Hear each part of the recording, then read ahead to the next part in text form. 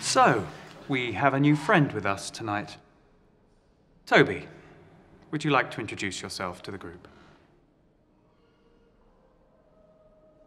Um, I'm Toby. I didn't really want to come here tonight, but I guess I'm here because I'm sick.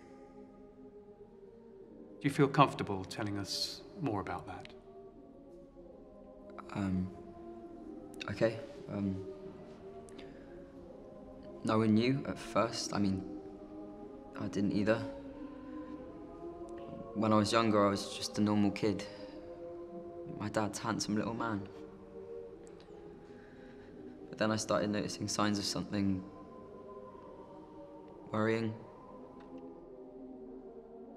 As I got older, I started to do research. And pretty soon I had a name for what was wrong with me. And then it all felt so real. I was terrified.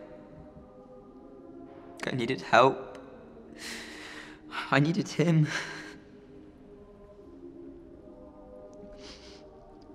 Dad cried when I told him. He used his savings to pay for therapies. He even took me to church daily. But not even the power of prayer would help. Nothing did. After a year, I hadn't improved at all. In fact, I'd gotten worse. Dad started to get angry.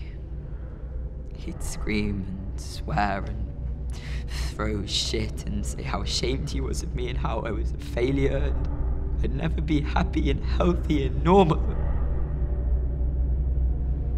One day he just snapped. And he. He kicked me out. Miss him. My aunt says that there's nothing wrong with me, but she doesn't get it. I just. I just need to find a cure. And then me and Dad will be okay again. There's got to be something that will fix me, right?